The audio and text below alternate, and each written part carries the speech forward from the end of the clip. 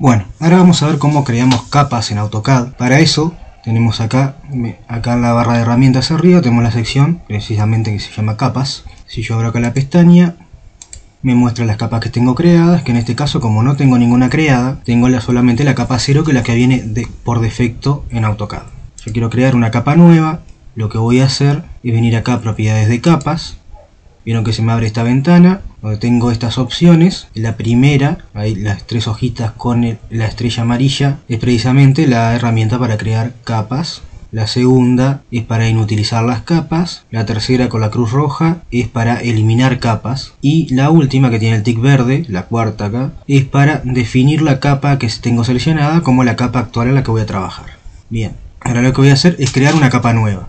O sea, voy a venir acá a la primera herramienta, la que tiene la estrella amarilla, voy a dar clic, pero ahí se me generó una nueva fila, una nueva capa que dice capa 1. Yo le voy a cambiar de nombre, en este caso le voy a poner capa muros, la cosa que le puedo cambiar a las capas, estos símbolos que los van a ver que les puede servir el la lámpara, yo la prendo, lo apago, lo que hago es apagar la capa. El sol lo que hago es inhabilitar la capa, que básicamente es lo mismo, pero al inhabilitarla te la inhabilita tanto en espacio modelo como en espacio papel y todo el programa. Y el candadito cuando lo cierro es para bloquear la capa. O sea, yo lo que hago con esto, la capa sigue activada, la sigo viendo, pero lo que me hace tener el candadito activado es que no se puede modificar. Si lo tengo abierto, puedo modificar todo lo que tenga en esa capa. Y después acá vieron que tiene el icono de la impresora, lo que a mí me permite esto, si yo cliqueo y me aparece ahí el, ese símbolo rojo al lado del icono, me está indicando que todo lo que yo dibuje en esa capa no va a salir impreso. O sea que yo por ahora lo que voy a hacer es dejarlo descliqueado para que las cosas salgan impresas. Ahora, ¿qué más puedo cambiarle a la capa? Es acá el color, por ejemplo, en la columna acá del color. Yo puedo ponerle un color para identificarme esa capa. Lo que hago es cliquear en el cuadrado blanco,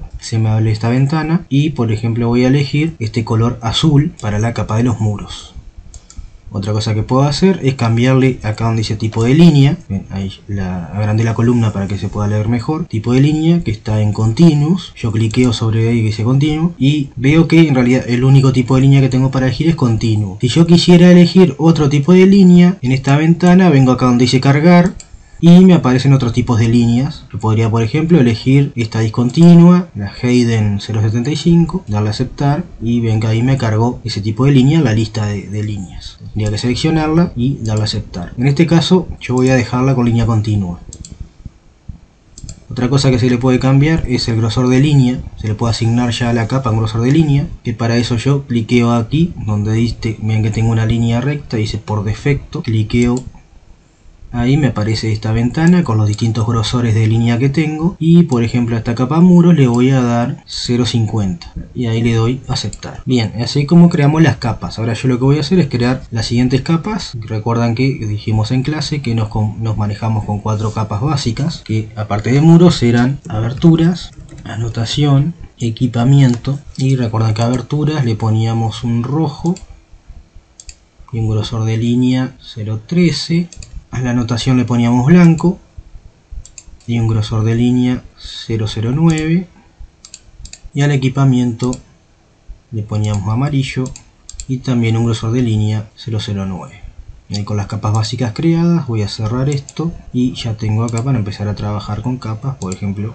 si yo elijo hacer algunas figuras para que vean ahí tengo la capa abertura vengo acá y elijo la capa muros por ejemplo. Ven ahí vamos a hacer otra en la capa notas en la capa de equipamiento y otra en la capa anotación por ejemplo. Ven ahí tengo cuatro figuras en las cuatro capas distintas y vean acá los iconos que yo les decía el foco o sea la lámpara el sol y el candado que si yo apago la lámpara en alguna capa acá porque apagué la capa de anotaciones y como es la que estoy la que puse para trabajar me, me está preguntando si realmente la quiero apagar. En este caso le voy a dar mantener no la voy a apagar pero ven que si yo apago el foco en alguna de las capas, esa capa desaparece porque está apagada.